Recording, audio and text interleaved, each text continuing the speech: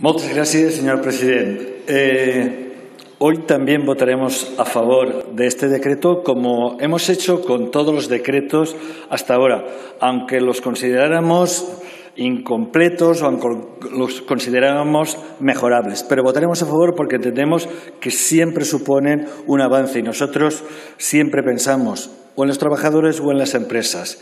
Para nosotros es fundamental mantener las empresas porque entendemos que es la mejor manera de mantener el empleo. Y hablando de empleo, un recuerdo para expresar mi solidaridad, eh, la solidaridad de compromiso con los trabajadores de Nissan que perderán probablemente su empleo como consecuencia, primero, de la cerrazón de una empresa que ha recibido dinero público y ayudado porque no se ha derogado aún la reforma laboral de 2012, como denuncian muchos sindicatos. Bueno, muchos. Seguro que este sindicato de la señorita Pepis que se va a inventar Vox no lo denunciará, pero, en fin, muchos sindicatos sí que lo denuncian.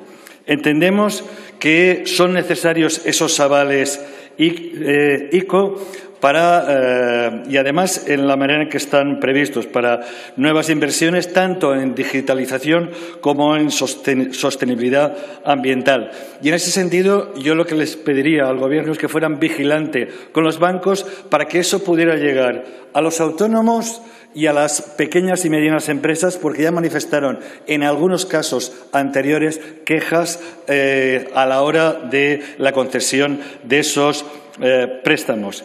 En segundo lugar, hablar también de que eh, las ayudas a los, turismos es absolutamente fundamental y en el caso de mi territorio es absolutamente fundamental, es un sector eh, absolutamente necesario, estratégico en nuestro PIB y nos parece también muy bien esa transitoria del ingreso mínimo vital que se, eh, eh, comunique tanto a ayuntamientos como comunidades autónomas, porque son, en definitiva, los que van a estar controlando y gestionando esta, esta ayuda.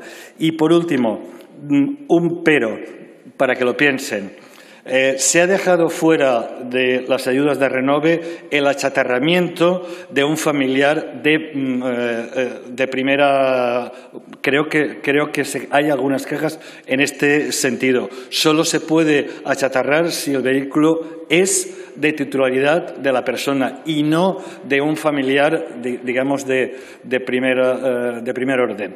en fin, piénsenlo porque yo creo que podría llegar a muchísima más gente. Insistimos, votaremos a favor. Muchas gracias. Muchas gracias.